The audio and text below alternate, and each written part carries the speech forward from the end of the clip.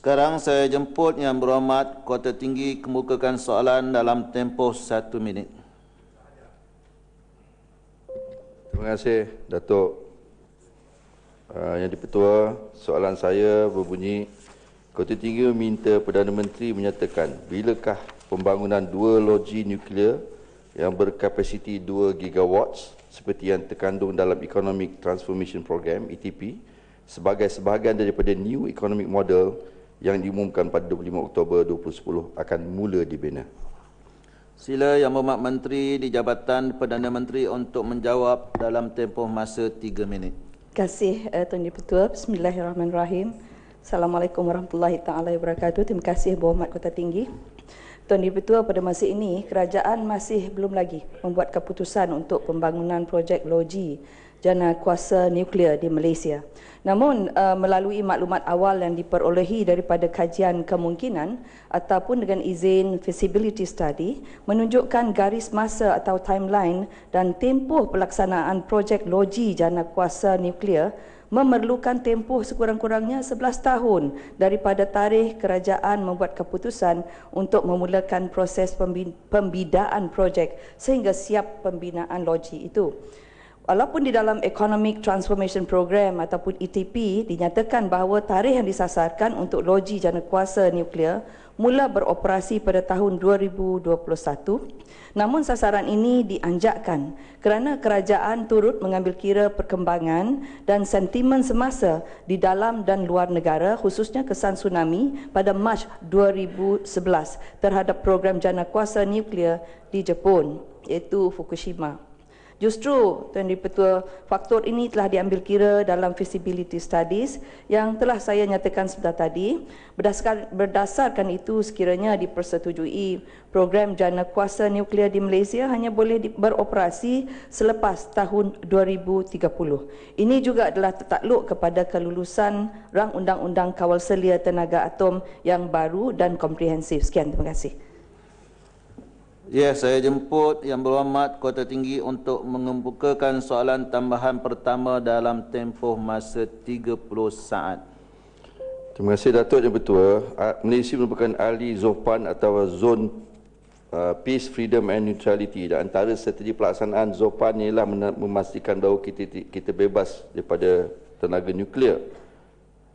Soalan saya, adakah Malaysia mengambil kira pandangan rakan-rakan ASEAN bagi membina loji nuklear ini memandangkan Malaysia adalah satu-satu negara yang mempunyai loji nuklear di rantau ASEAN.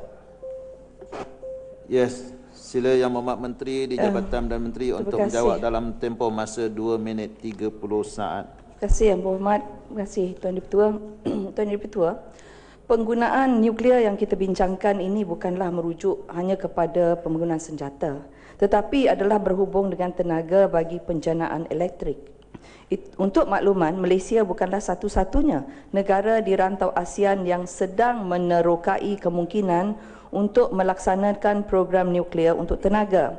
Negara-negara jiran kita seperti Indonesia, Thailand dan Vietnam turut giat mengkaji untuk penggunaan tenaga nuklear bagi penjanaan elektrik. Vietnam sebenarnya telah pun memeterai perjanjian dengan persekutuan Rusia, Rusia untuk pembinaan loji jana kuasa nuklear pertama di negara uh, mereka. Yang berhormat ada merujuk kepada zon aman, bebas dan berkecuali ataupun ZOPFAN. Untuk makluman, salah satu tunggak utama ZOPFAN ini adalah Treaty Zon Bebas Senjata Nuklear Asia Tenggara yang membenarkan negara-negara anggotanya menggunakan tenaga nuklear secara aman isu penjanaan nuklear ini juga bukanlah perkara baru dan sering dibincangkan dalam mesyuarat-mesyuarat ASEAN dalam sektor tenaga, politik dan keselamatan serta sains dan teknologi. Sekian, terima kasih. Ya, saya jemput Ulu Langat untuk mengemukakan soalan tambahan kedua dalam tempoh 30 saat. Datuk Seri Yang Ketua uh, Yang Berhormat Menteri, tidakkah uh, sebelum tenaga nuklear ataupun loji ni tenaga nuklear ini dibina uh, adakah kementerian bersetuju untuk memberi uh, maklumat secara meluas mengenai uh, nuklear itu sendiri teknologi nuklear itu sendiri terima kasih Ya, saya jemput Yang Berhormat Menteri di Jabatan Perdana Menteri untuk menjawab dalam tempoh masa 2 minit 30 saat. Terima kasih uh, Tuan Ketua, terima kasih Yang Berhormat Hulu Langat.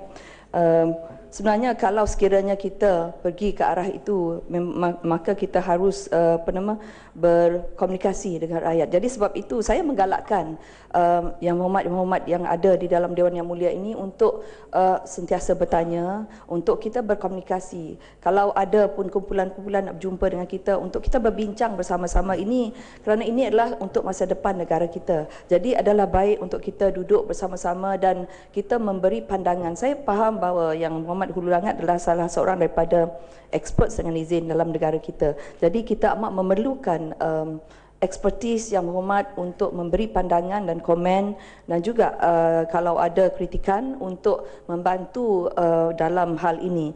Sebab kita juga kalau kita nak me- me- mengarah ke uh, menuju ke arah itu kita ada garis panduan. Garis panduan uh, IAEA iaitu International Atomic Energy uh, Agency yang utama dalam ini di mana kita berpandu kepada uh, aras panduan daripada uh, dokumen yang bertajuk Milestones in the Introduction of a National Nuclear Power Program dan Evaluation of the Status of National Nuclear Infrastructure uh, De- Development dengan izin. Saya percaya ini diketahui oleh Yang Berhormat. Dan sekali lagi saya nak menyatakan di sini sekiranya ada di kalangan yang rakan-rakan yang berhormat yang menjadi pakar dalam hal ini kita bersedia untuk bekerjasama dan berbincang kerana ini adalah untuk masa depan negara kita. Terima kasih Muhammad.